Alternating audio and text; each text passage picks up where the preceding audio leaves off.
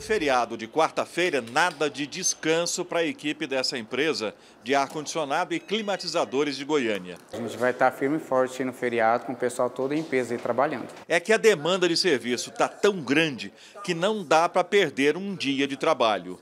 O número de instalações e manutenção de equipamentos mais do que dobrou de agosto para cá, antes da primeira onda de calor.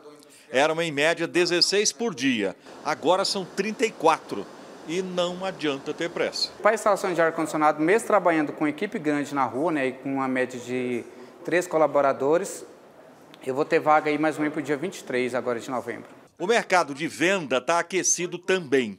Na semana passada, a empresa recebeu um caminhão cheio de mercadoria. Acabou de chegar aqui os nossos pedidos, ó. Tudo foi vendido em menos de 24 horas. O ar-condicionado, na verdade, não é um gasto, né, mas sim um investimento. Então, hoje, se você adquire um ar-condicionado, não é porque você está luxando, não é porque você está gastando um dia, mas sim você está investindo em qualidade né, de vida e em saúde também. Ana Paula é dona de uma padaria. O calor é tão intenso que ela teve que comprar uma câmara climatizada que funciona 24 horas por dia. Os pães não estragam, mas tem preço. O valor da conta de energia aumentou em R$ 1.500. Mesmo sem poder, você tem que investir para ter um retorno, né? Não tem como é, você não ter a certeza que um pão vai ficar bom ou não, por causa do calor, cresce demais, não fica bom o pão. Tem, tivemos que fazer esse investimento, porque senão eu não sei como que a gente ia fazer. Neste salão, o ar-condicionado de 34 mil BTUs fica ligado a toda a potência o dia inteiro. Como é um sol nascente, a gente ligou o ar aqui, mesmo com a cortina fechada por enquanto, enquanto ele esfria, para a hora que o cliente chegar já está bem agradável o clima aqui dentro.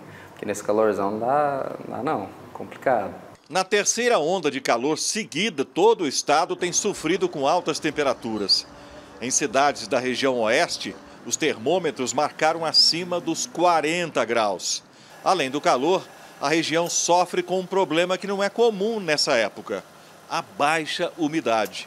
Em Goiás, o mês de novembro costuma ser um dos mais chuvosos, mas a estiagem fora de época derrubou a umidade do ar para índices abaixo de 20%, bem parecido com agosto.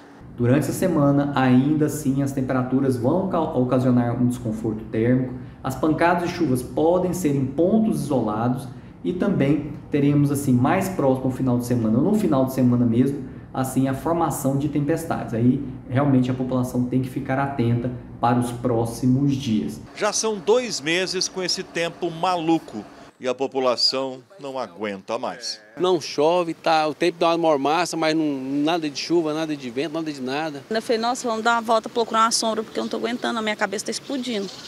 Porque não é fácil não, viu? Tá suportando esse calor.